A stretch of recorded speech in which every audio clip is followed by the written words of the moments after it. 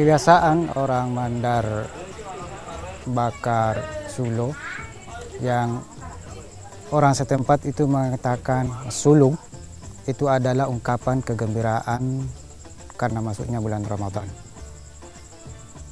Kenapa harus sulo ada cahaya?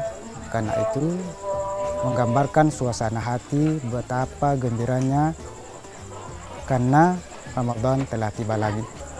Sehingga bisa kita lihat bahwa yang tempat-tempat yang ada sulo itu kebanyakan di depan pintu mulai dari tangga kemudian masuk ke dalam rumah itu seakan-akan menyambut tamu yang agung yang datang kepada mereka.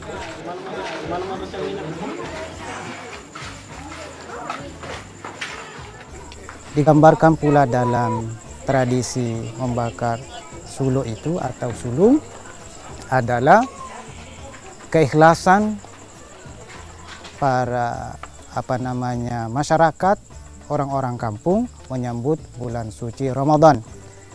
Sehingga cahaya-cahaya itu digambarkan suasana hati yang ikhlas, yang gembira menyambut bulan suci Ramadan.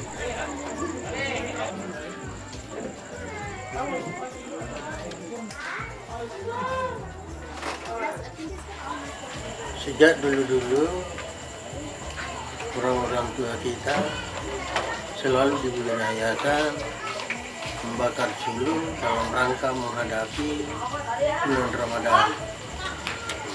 Maknanya ialah membakar semangat, menumbuh kembangkan rasa kegembiraan menghadapi bulan puasa yang akan datang.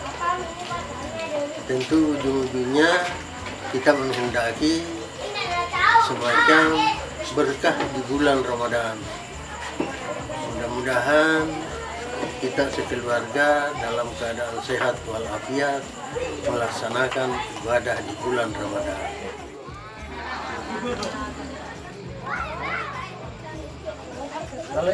Di dalam setiap tahun menyambut bulan Ramadan, ya tradisi di kampung Masigi ini khususnya di Ponde eh, ada beberapa hal yang dilakukan.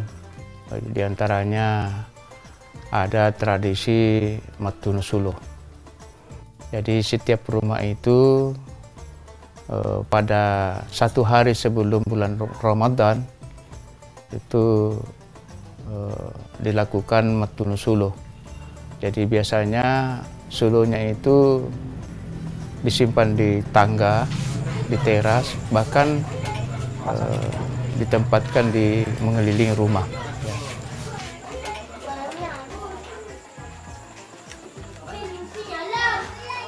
Tradisi kami itu selalu terjaga dengan baik dan terpelihara terutama membakar lilin dan semua masyarakat melakukan itu pada saat eh, malam pertama Ramadan dan kedua eh, dua kali dilakukan pembakaran yaitu malam pertama. Dan setelah itu bangun makan sahur dibakar lagi. Jadi dua kali pembakaran itu dalam eh, malam pertama bulan suci Ramadan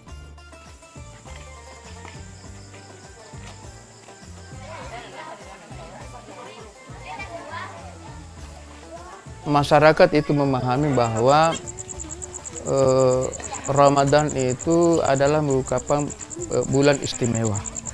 Jadi di situ penganggapan anggapan masyarakat itu bahwa ya untuk menghadapi Ramadan itu dengan kegembiraan apa semua itu eh, seperti itu.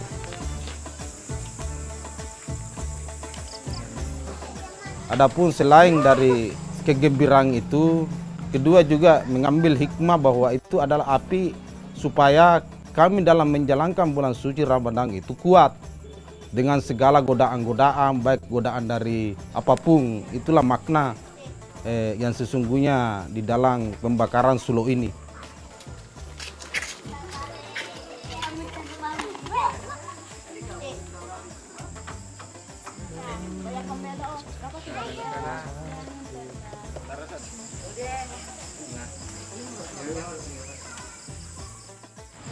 Eh, harapan kita ke depan tentu ini bisa terjaga dengan cara harus memahami filosofi dari Maktunu atau membakar suluk ini atau sulung.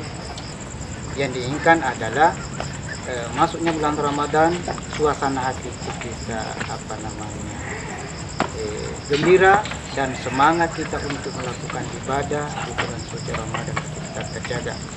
Sehingga tentu diharapkan tradisi ini eh, bisa kita jaga tentu dengan semangat supaya selalu di dalam bulan suci Ramadan itu semangat untuk melaksanakan ibadah.